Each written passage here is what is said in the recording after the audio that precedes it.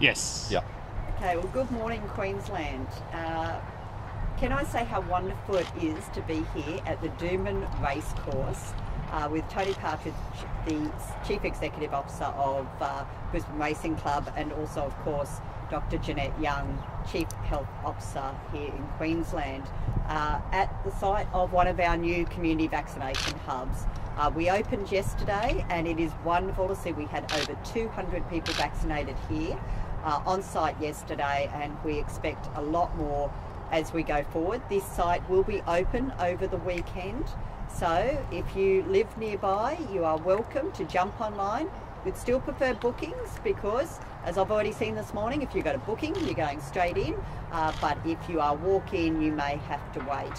So to avoid that wait uh, please make a booking, jump online, have a look at what community hubs are available in your local area, uh, not just today and tomorrow, but also over the weekend. I want to thank uh, Tony and his amazing team uh, working with us to set this site up so quickly.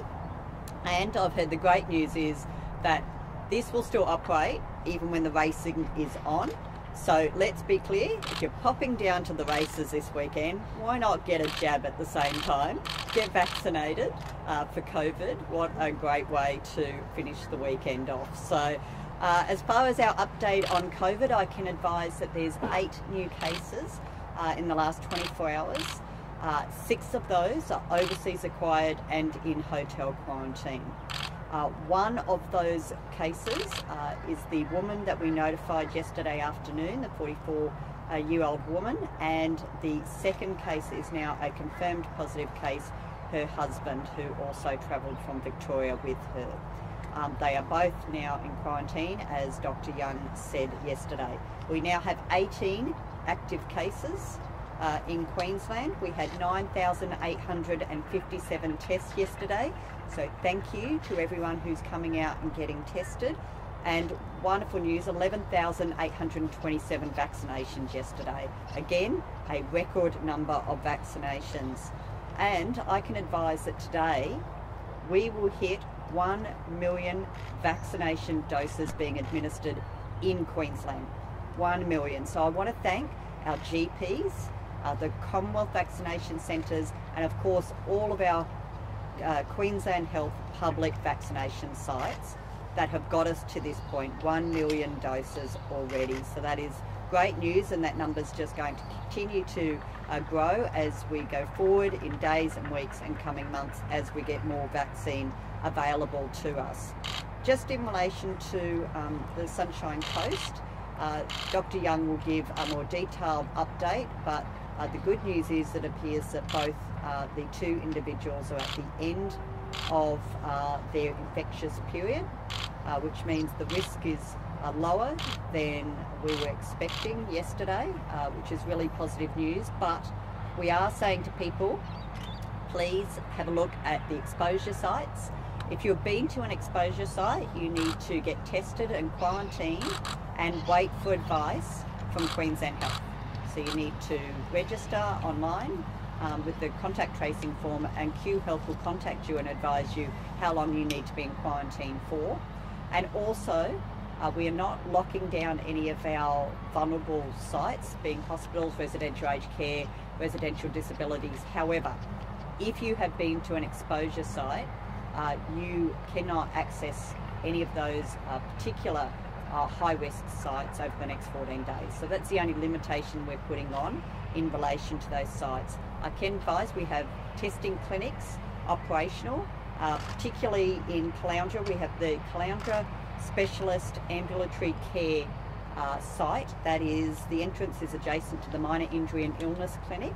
That is open from 8am to 8pm and it will be open over the weekend. It's a drive-through site. You can walk in as well.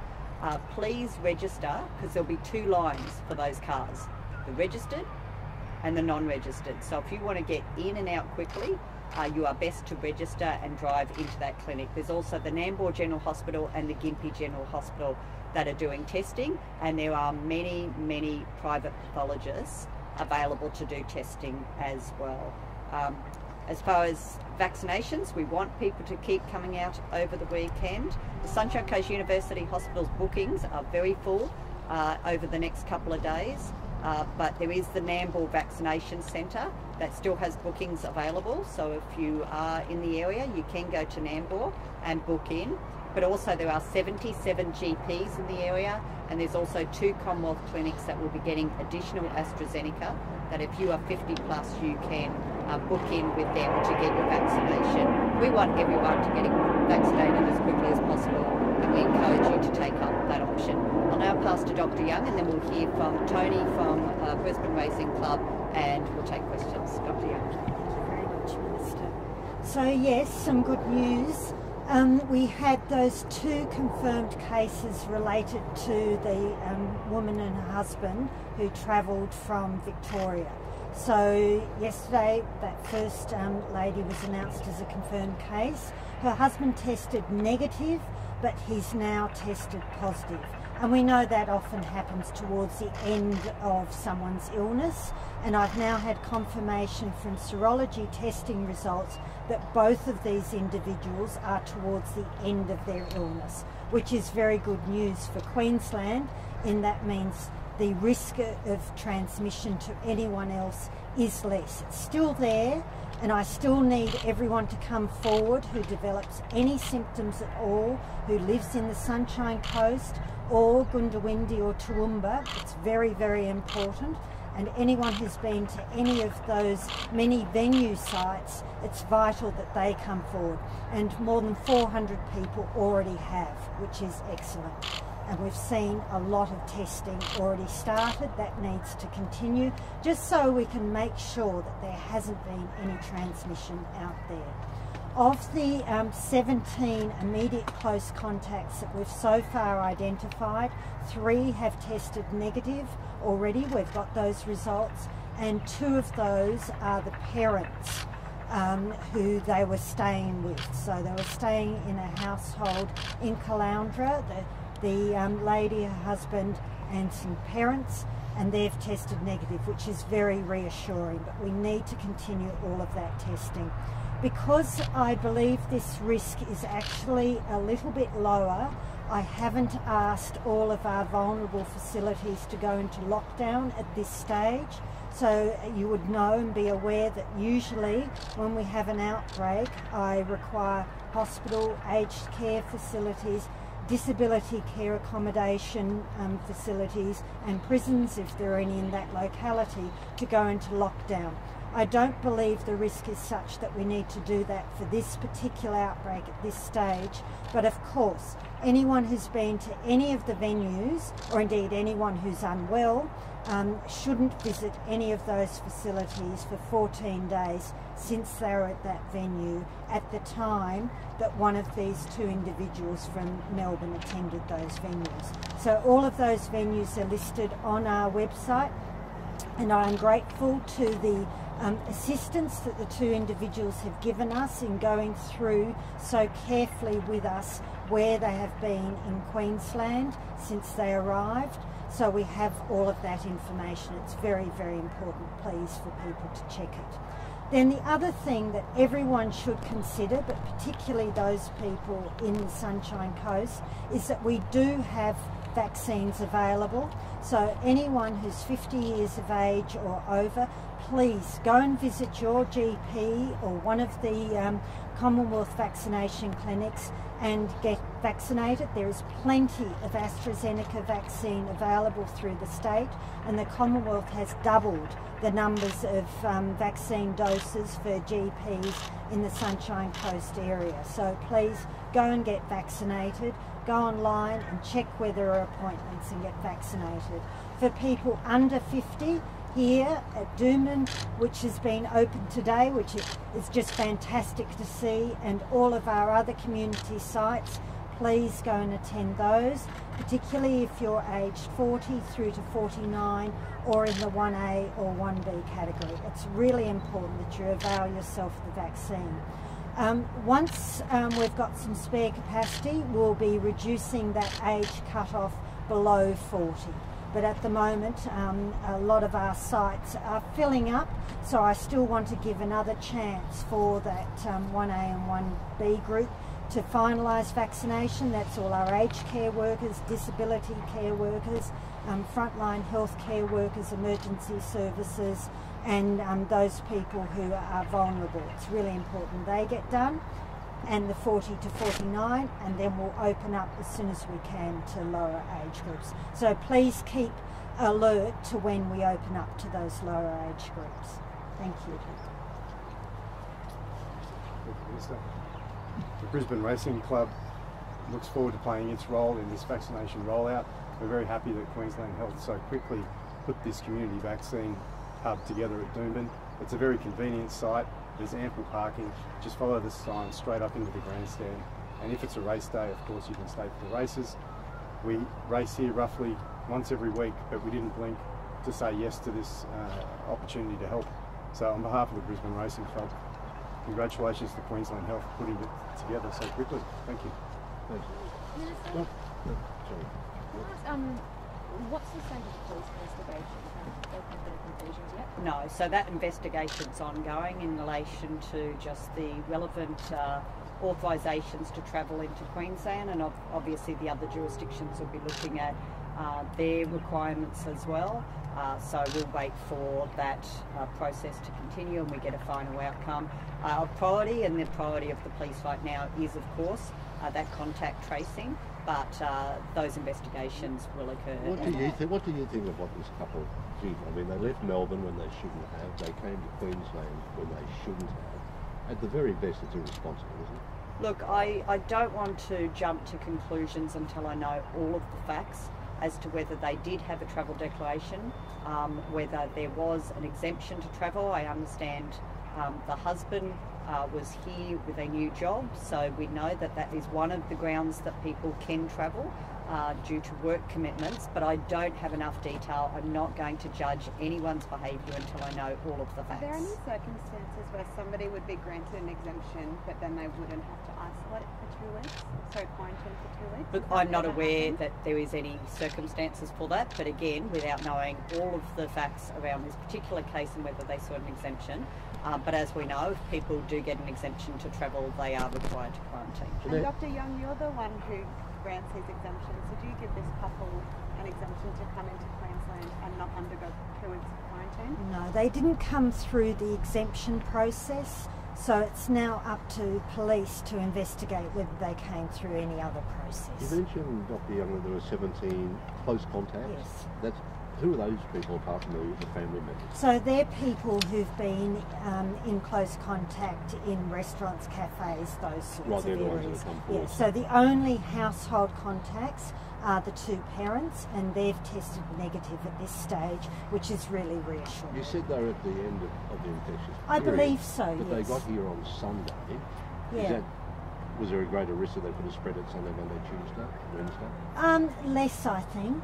I think um, because we got serology done on them yesterday, and at that stage they were already IgG positive, which suggests they've already recovered, so they've got neutralising antibodies. So that would suggest that they probably got infected at least 14 days earlier. So that's why I'm saying they're towards the end of their illness. Also, their CT values, so their viral load, is very, very low. So therefore the risk to residents or any of those exposure sites is lower. It's lower, yes. Are you confident we can get on top of this and there won't be widespread community? I believe so. Seeing the response from the Sunshine Coast has been absolutely magnificent. People have themselves come forward and said, I've been at this venue, what should I do? Which is the best result. So people are really taking on board where the venues are. We've already seen a ramp up in testing, which is just fantastic. So, yes, I am confident that we can, with that continued cooperation from the people of the Sunshine Coast, I'm confident we can get on top of it. Is that 400 people that have come forward? Yes. And they're all in quarantine? No, um, we're working through with them because some of them are very casual contacts. So they'll just need a test, and if it's negative, they'll be fine. But this is it just shows though that people willingly, with that information that was put out by the media yesterday. Thank you very much to all of you that people have willingly come forward and responded. So what's the difference between the 400 who have come forward, who have presumably been to those exposure sites, and the 17? The 17 are people we've found through our immediate contact tracing because they're very close contacts. Any idea of where um, the couple picked up the virus in Victoria and how you working with? Um, Victoria's working that through as we speak. We are waiting on genome sequencing results because that will help um, Victoria. I'm not sure that we'll be able to get genome sequences because the amount of virus is so low, as you'd expect towards the end of the illness. And so, You go. and so, Dr. Young, that means that you poten- that we potentially may not find out what strain it was, and therefore, you know, how infectious they were. Um, I don't need that information to work out how infectious they were. I'm getting that from other tests, from serology and from their viral loads. So I, I don't need to know whether it's the Kappa or, or which strain it is. That's more useful information for Victoria because then they'll be able to work out um, potentially how these people contracted it in Victoria. How old was the husband? Sorry. I don't have his age, sorry. And the parents, are the parents, are they her parents or the. I'm not sure. I believe so. Just while I've got you there, the, the couple who came in from Qatar, who were yesterday reunited with their newborn at, at Royal Brisbane, they've asked for exemptions for family members to come up with the uh, dealing with the, uh, the birth of the new newborn. What sort of view would, would you uh, take? Well, it depends where they are. I, I'd need to know where they're from. So whether they're from overseas or from. Know, They can apply for an exemption like anybody else. Yes, of course they can apply for an And th- exemption. they've also asked for some sort of help from Queensland Health to, to take the baby to Melbourne, where they're from. Uh, it's got to be in uh, neonatal until September. That's a normal process that we deal with regularly, so it will just go through that usual process to work out what's best for the baby, number one, of course, and then what else can be managed. Just on that case, Dr. Young, before we, before we go, um, one thing that's been said is that Queensland Health, uh, essentially in response to the fact that this couple were, were fully vaccinated, that Queensland Health's sort of rigid processes around who must quarantine and under what circumstances haven't been nimble and responsive to this new factor, which is that you know we have people coming into the country who are fully vaccinated. What's your response to that, and are the processes changing uh, now that people are vaccinated? Um, we're still reviewing the impact of vaccination. We know that just because you're vaccinated doesn't mean that you won't get infected. So we have seen, and we have seen in quarantine, people have been fully vaccinated who've then tested positive. So we still need to work out what the ongoing risk, if someone gets infected who's fully in vaccinated, what is the risk for them to then pass that virus on? So there have been some very good studies done in the UK um, looking at that, and there are still cases, a reasonable number, where people have been fully vaccinated, got infected, and then passed on that infection to someone else who's not vaccinated. So we've just got to work out all of those. Now, a neonatal intensive care unit has a lot of very, very vulnerable babies and also their mothers and other visitors. So that's why we just, although it was heartbreaking for everyone involved, that's why we could not let that family go and visit their Just- baby. One more question on that case. Yesterday, the father involved said that he alleged that you had intervened in processes that were put in place by the hospital to allow them to, to sight the baby, namely via a screen, and the fact that the baby had in fact been isolated from others in the in the same unit. Did you intervene at all? I wasn't involved in any conversations about that. Minister, can I ask, um, do we know what Last mode of now. transport was used by the couple to cross into Queensland? Was it a car or a truck? Oh, all I know is they drove from Victoria through New South Wales into Queensland. I don't know the size of the vehicle or the type of the vehicle, but I do know they came by road. I do want to um, just remind people who are in Queensland now if you've been in New South Wales in recent times. So, uh, as Dr. Young has said, uh, these couple Uh, were more infectious when they were in Victoria and possibly while they were travelling through New South Wales. So New South Wales has put a number of exposure sites up on their website and you can find those exposure sites on our Queensland site as well. So anyone who has travelled around New South Wales in the last couple of weeks, can I ask you to also just have a look at those exposure sites and make sure you haven't been to one of those sites. If you have, you need to follow the instructions as well. We're, we're hearing there, we're hearing there are huge traffic jams at Caloundra Hospital with lines of traffic and people and police having to step in. Is there any chance there might be some pop-up clinics? Uh, so we will be monitoring this throughout the day. I've spoken to the local members as well uh, to say to them if they're observing very long lines, I'm happy to take feedback. Uh, but we will monitor this throughout the day. If it there will always be lines. I need to be very clear to everyone. Uh, no matter how many sites we set up, whenever we have a community case, we know that we'll have uh, a lot of demand. So we do ask people to be patient, but it's also why we're asking people to register. Because if you register, you'll get through the testing clinics far quicker. Uh, but we will monitor. If we need to look at additional sites, we will. But we've got uh, the Caloundra drive-through site open 12 hours a day. They'll open all weekend. Uh, and we will look at other testing sites. But please remember, it's not the only site on the Sunshine Coast. So in addition to the public sites, Nambour, Gympie and Caloundra, there are private pathologists who are taking people in for testing where they don't need a referral at all and a number of those pathologists will probably be open on the weekend as well. So please don't think that your public site is the only one to go to. There are many, many private pathologists on the Sunshine Coast that you can get a test for today. Minister, gotta go, guys, we came go. from Melbourne and Sorry. triggered the Ipswich outbreak last year, they were uh, given community service as their sentence.